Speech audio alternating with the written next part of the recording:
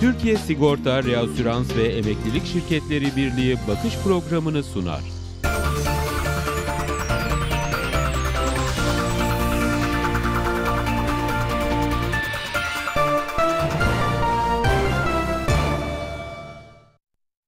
Efendim bakış programına hoş geldiniz. Her zaman olduğu gibi tasarrufu ve dolayısıyla bireysel emeklilik sistemini konuşmaya devam ediyoruz.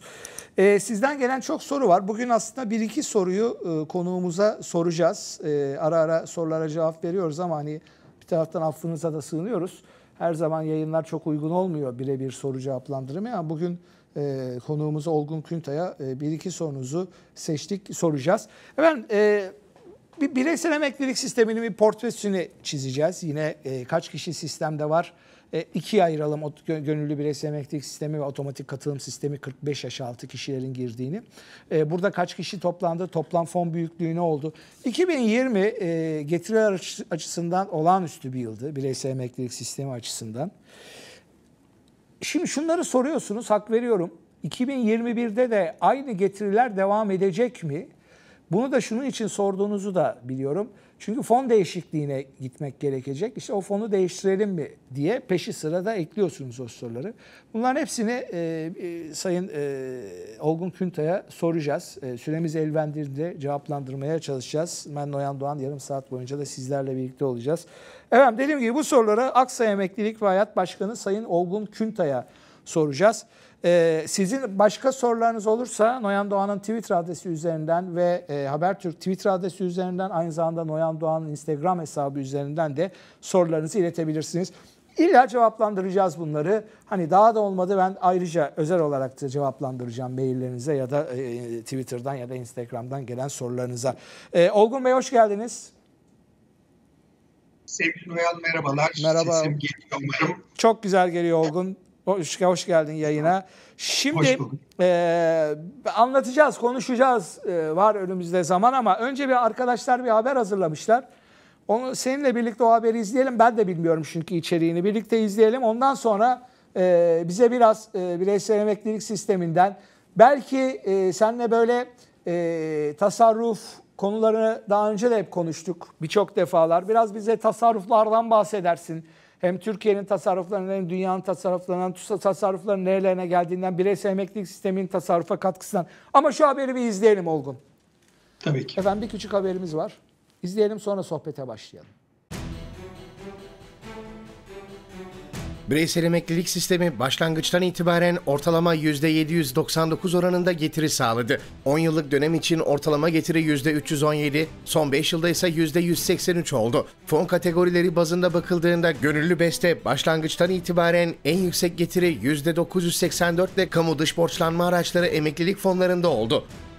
Son 10 yılda en yüksek getiri %508 ile yine kamu dış borçlanma araçları fonları kategorisinde gerçekleşti. Son 5 yılda en yüksek getiri %331 ile kıymetli maden fonları kategorisinde gerçekleşirken 2020 yılında da en yüksek getiri %56 ile kıymetli maden fonlarından elde edildi. Başlangıçtan itibaren emeklilik fonlarının ortalama getirisinin enflasyonun yaklaşık 414 puan üzerinde olduğu gözlemlendi. Otomatik katılım sisteminde de fon getirileri enflasyonun üzerinde getiri elde etti. Otomatik katılım sistemi fonlarının başlangıçtan itibaren ortalama getirisi %70'e, tüfenin yaklaşık 3 puan üstünde gerçekleşti. Şimdi Olgun bize istersen hem tasarrufu hem de buna hemen e, bireysel emeklilik sisteminde ekleyelim. Tasarrufta bireysel emeklilik sisteminin katkısı nedir diye bir girizgah yapalım. Sözü sana bırakıyorum. Peki. Ee, şimdi yıl sonu itibariyle BES ve OKS bir arada baktığımız zaman... Şu OKS'yi açalım. E, otomatik katılım sistemi. Yani 45 yaş altı çalışanların sisteme girdiği... Evet, evet. Yani e, istersen istersen e, şöyle e, başlayayım. 2003 yılında bireysel emeklilik sistemi kuruldu. Bugün bizim gönüllü sistem.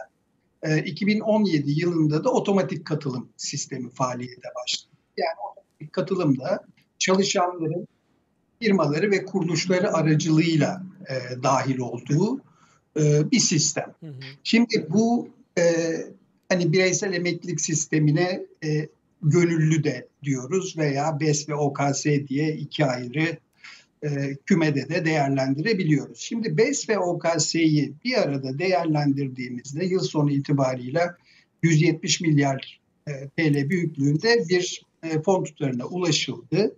Hmm. E, Ocak ayında e, ve hatta e, işte Şubat'ın e, bugününe kadar e, kamu dış borçlanma fonlarında ve altın fonlarında biraz geriye geliş söz konusu oldu. Dolayısıyla şu anda fonlar 169 milyar civarında. Peki, peki Olgun bu 169 milyar dediğin fon büyüklüğü bize neyi ifade ediyor? Yani izleyici e, ne anlasın 160 milyar e, liradan? Bir onu Evet. bize mukayese ederek yani şunla Evet. bir mukayese eder, eder, edersen o da kişiler de diyebilir ki ha gerçekten iyi bir büyüttük buraya noktaya kadar gelmiş.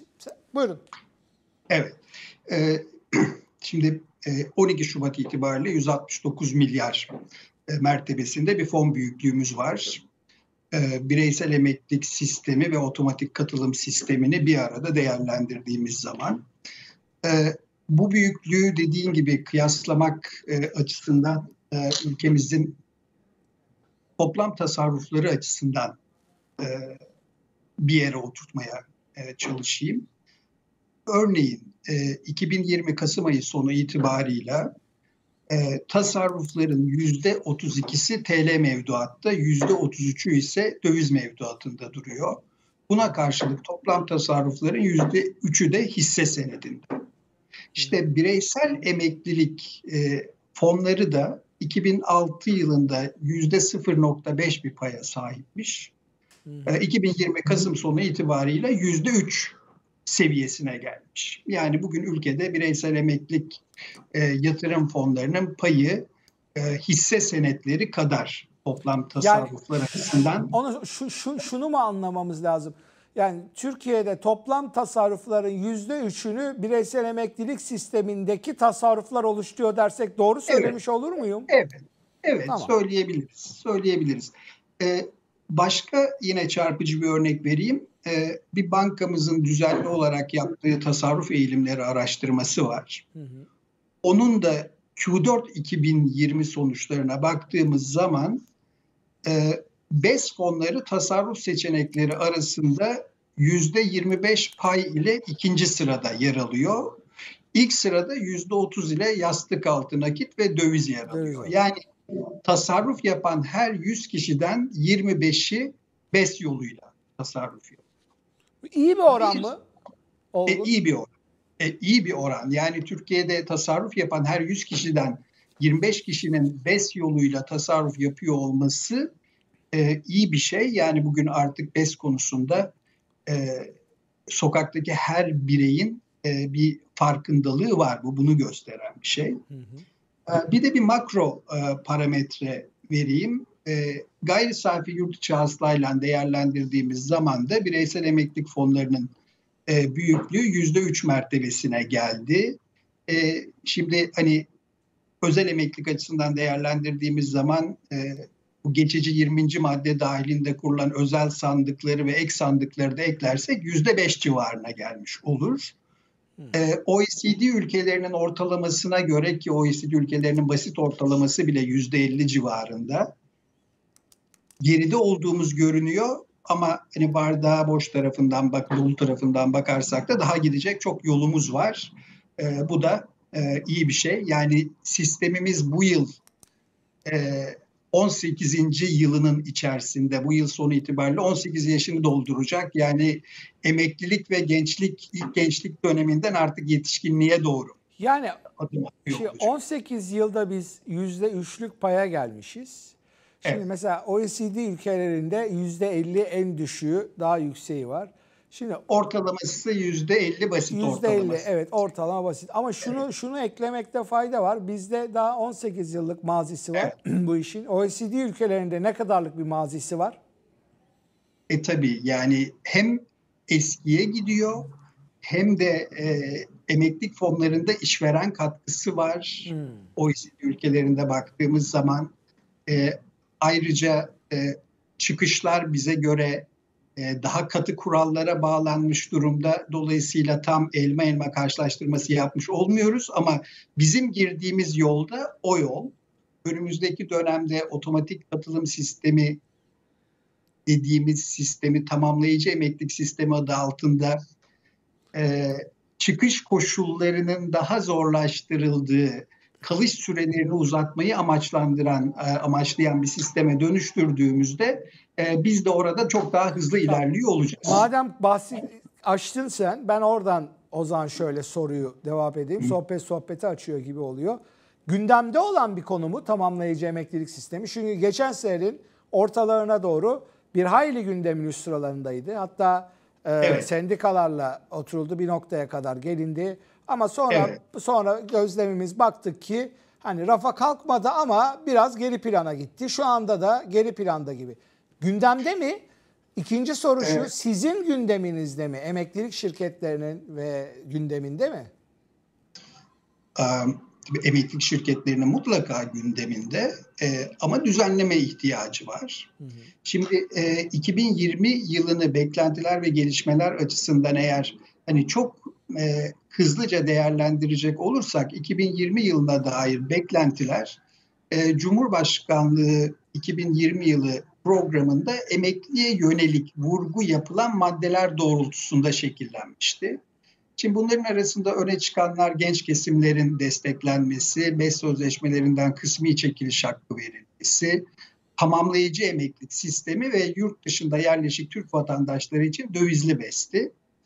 Ee, tamamlayıcı emeklilik sistemi e, çalışmaları devam ediyor ama dediğin gibi gündemde biraz arka sıraya geldi ve 2022 yılında e, yeniden gündemde güçlü bir şekilde yerini alacağını e, tahmin ediyoruz.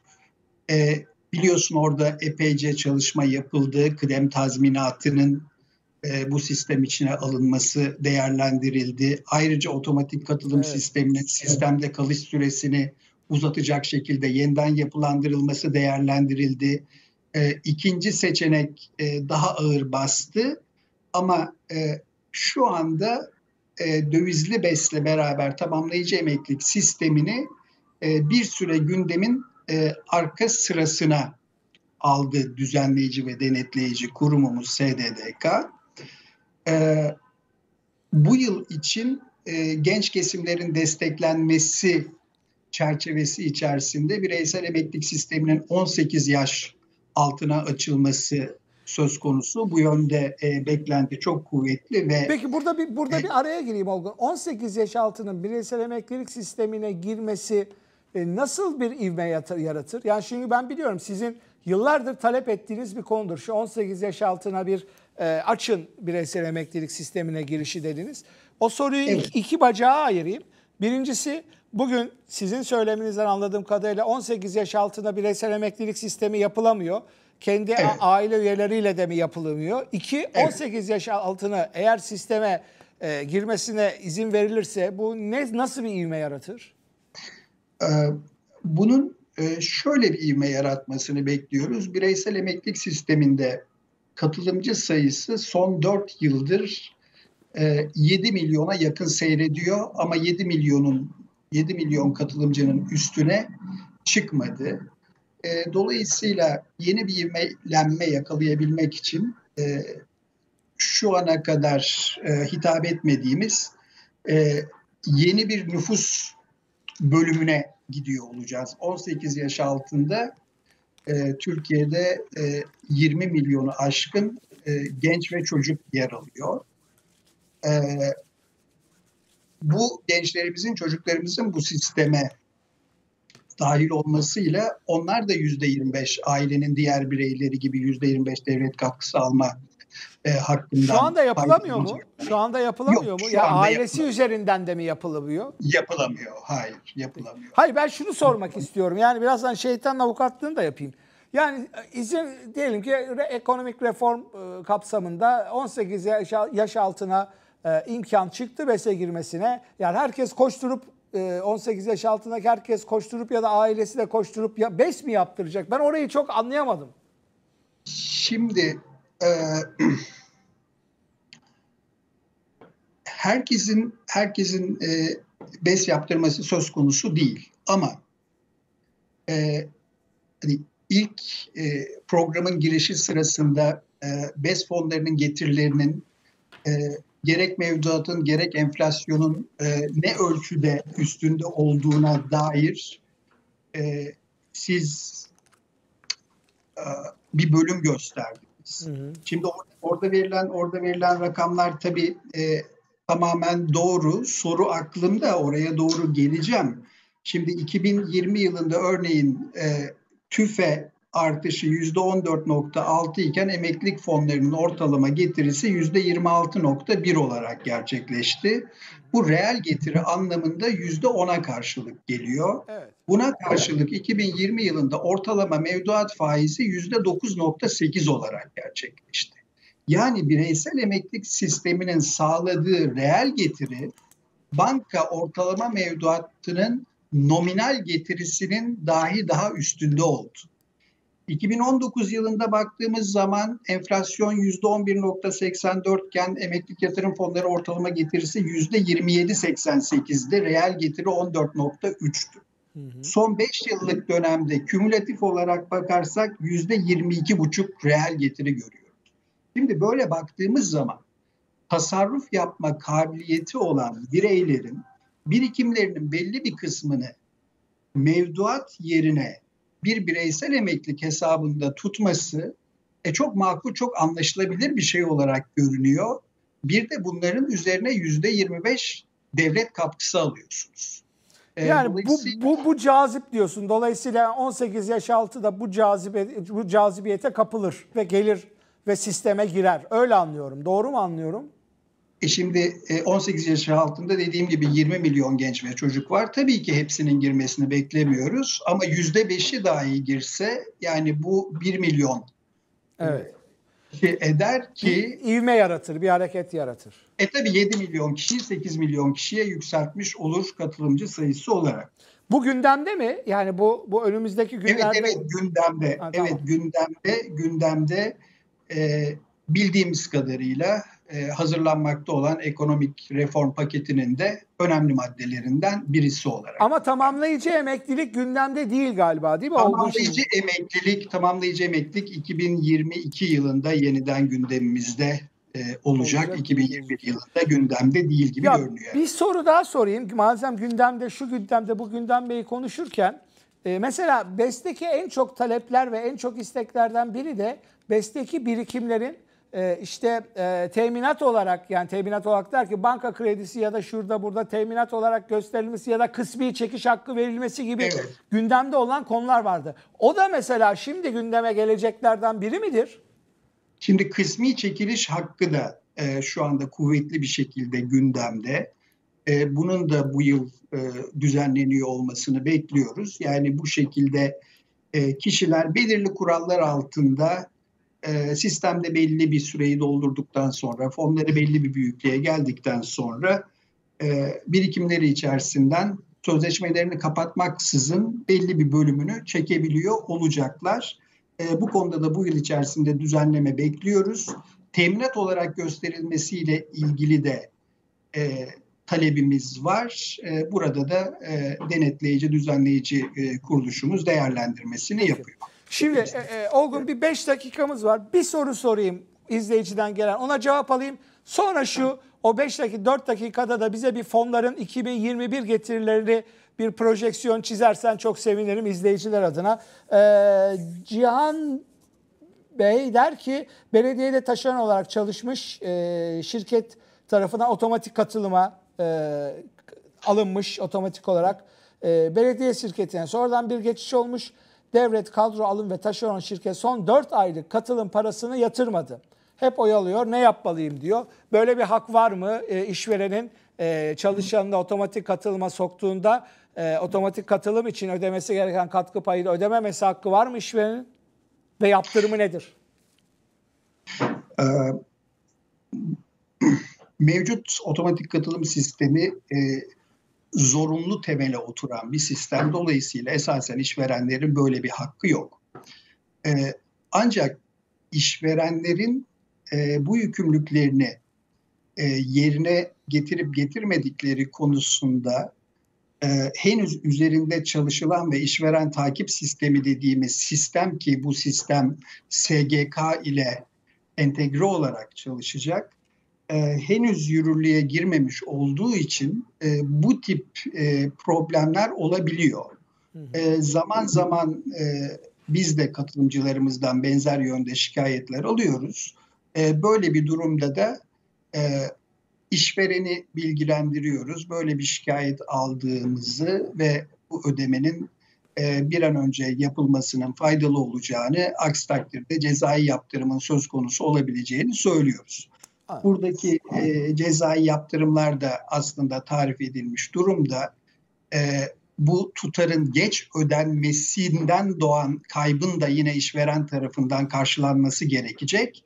Ama dediğim gibi bunun e, daha e, yapısal olarak e, takip edilmesi için e, altyapı geliştirmesi yapılıyor. Şirketler EGM, SGK arasında e, bir süre sonra bu problemin tamamen ortadan kalkacağını düşünüyorum. Peki e, son e, soru 2021'in 2020'deki fonlar aynı performansı bu senede gösterir mi?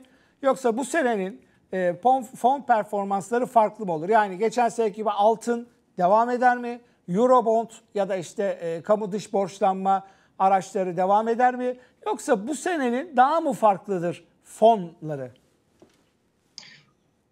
Ee, yani doğal olarak bu konuda hani çok e, net çizgilerle bir şey söylemek mümkün değil. Ee, ancak bu sene e, geçen seneye göre e, biraz daha ihtiyatlı olup beklentileri biraz daha aşağı seviyede tutmakta fayda olduğunu düşünüyorum. 2020 yılında altın fonu %56 artış gösterdi. Kamu dış borçlanma %36 getiri sağladı. Hisse senetleri %35'in üzerinde getiri sağladı. Şimdi 2021 yılına baktığımız zaman 2021 yılı beklentilerini temel olarak e, iki değişkene bağlı olarak oturtmak gerekir diye düşünüyorum. İlki Merkez Bankamızın politikaları, ikincisi pandeminin global seyri. Şimdi Merkez Bankası e, sıkı para e, politikası uygulamaya devam edeceğinin e, yakın zamanda yeniden altını çizdi.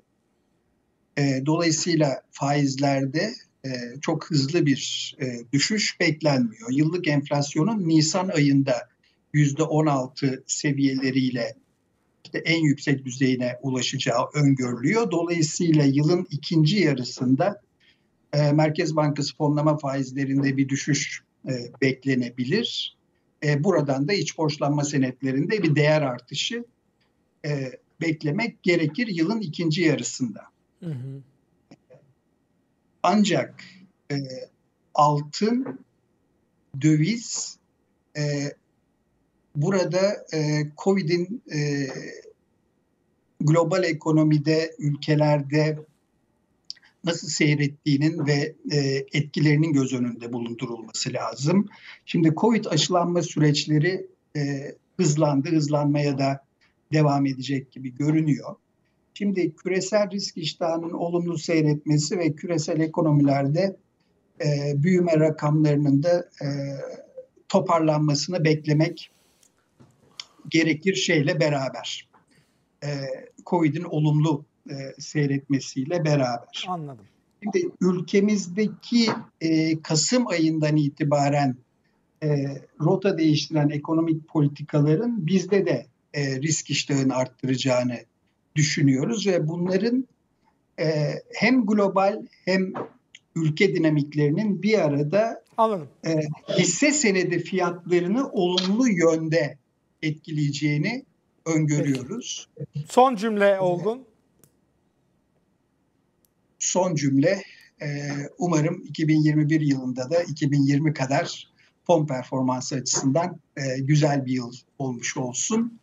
E, yani belki son bir e, son bir öneri e, hani geçen yıl altın fonuna çok e, geçiş oldu toplam fonların e, yüzde 26'sı evet. altın fonuna geldi yıl sonu itibarıyla. OKS'yi ve devlet katkısı fonunu hariç bıraktığımız zaman bu bir önceki yıl e, yüzde 15 seviyesindeydi. Şimdi evet. böyle belli bir fonda çok yoğunlaşıldığında e tabi risk e, yani kayıp ve kazanç riskini bir arada Anladım. e, yüksek seviyede almış oluyoruz. Onun için biraz daha fonları bu senede dağıtmakta Dağıtmak fayda olabilir. Olgun Kültay çok teşekkür ediyorum. Bu gelişmeler önümüzdeki aylarda tekrar bir araya gelip konuşuruz. Çok teşekkürler. Ağzına sağlık Olgun.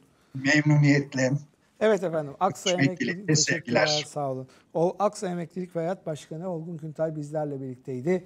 Bireysel emeklilik sistemi ve tasarrufu ve önümüzdeki e, günlerde, e, haftalarda ve de aylarda e, fonların performansının ne olacağını konuştuk. Eminim bunların içinden e, biraz kendinize pay çıkarabilmişsinizdir. Başka programda görüşmek üzere. Hoşçakalın.